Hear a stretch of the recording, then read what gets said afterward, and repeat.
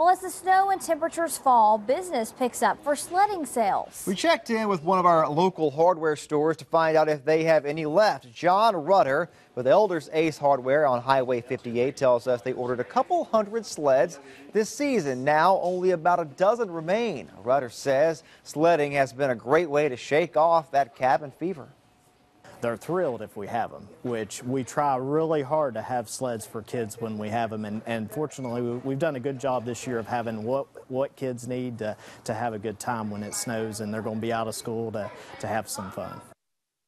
And John tells us they have even the classic radio flyer sleds in stock. There's only a few of those left as well. A good season uh, this year for sled sales and sledding fun. Sledding is not just for the kids, though. It's also for the young at heart. As a 90-year-old World War II veteran shows us, check out this video of 90-year-old Claude Bratcher going for a ride in 10 Mile, Tennessee this week. Mr. Bratcher is accompanied by his dog Smitty, who looks as if he's having just as much fun running beside the sled. Thanks to Anthony Smith, one of Mr. Bratcher's relatives, for sending this video to us.